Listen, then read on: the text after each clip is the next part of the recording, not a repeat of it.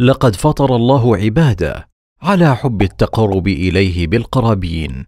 قال تعالى ولكل أمة جعلنا منسكا ليذكروا اسم الله على ما رزقهم من بهيمة الأنعام.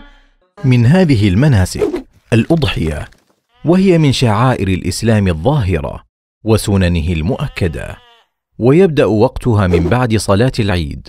وينتهي بغروب شمس ثالث أيام التشريق.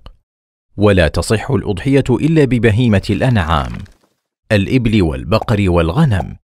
فلا تصح بالدجاج ولا الأرانب ولا الغزلان وغيرها. ويسن أن تكون حسنة سمينة. وبه فسر قوله تعالى ذلك ومن يعظم شعائر الله فإنها من تقوى القلوب.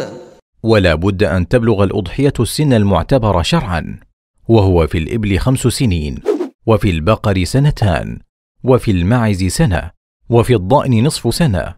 ولا تجزئ التضحية بما دون السن المعتبر. ولو كانت سمينة.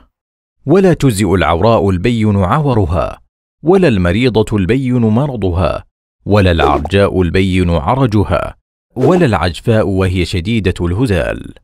وأما عيب الأذن والقرن والذيل فيكره. ولكن لا يمنع الإجزاء. فاحرص على استحسان أضحيتك وسلامتها من كل عيب. واعلم أن القبول ملازم للتقوى. قال تعالى إنما يتقبل الله من المتقين.